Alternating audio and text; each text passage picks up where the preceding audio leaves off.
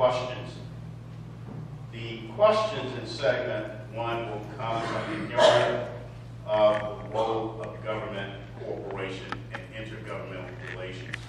For those of you who have questions from the audience, remember we have runners. You probably have paper supplied by the 30 Club and pens. These are our journalists.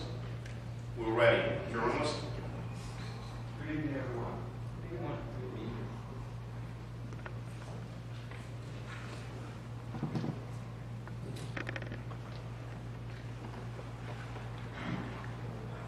we've got lots of questions coming up. I guess this is indicative that we're not kicking the can down the road on the many issues that face our community.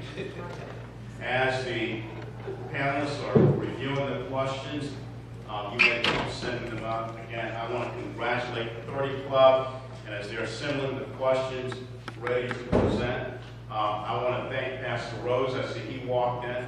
This is the church in which he is the senior pastor. Would you please stand, Pastor Rose? Thank you so much.